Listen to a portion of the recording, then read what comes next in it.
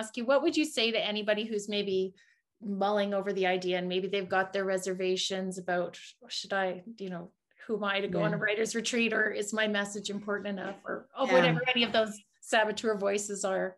Yeah, yeah. Well, I mean, Marianne Williamson says it eloquently in her quote about who are you not to show up and write this book, really. And for me, what I want to say to everyone is don't miss the opportunity to be with you in this space because you create such an amazing container for for those who are writing to show up to be present to allow the flow. And and in that you you won't what you what you start off with on the friday you'll be on the sunday you'll be a, you'll be you'll, you'll have gone through a, a transformative experience.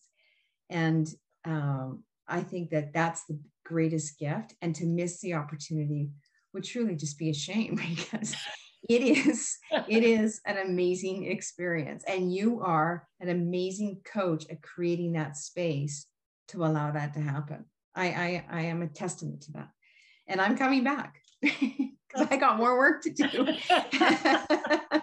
Well thank you so much leslie. I mean it really really warms my heart to know that you had that experience and i really believe that experience is possible for all of us i've had that experience I've coached other people through that experience. And it is, you know, it's not even just about the end product. The end product is what we're mm-hmm. going for, but the process it's the journey. Really cool too. Like it is the journey. Yeah.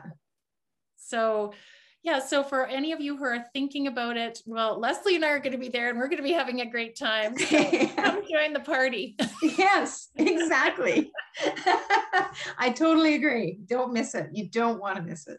Yeah. That's great. Well, thanks so much for being here with me today, Leslie. I really appreciate it. And I look forward to being with you on the retreat weekend.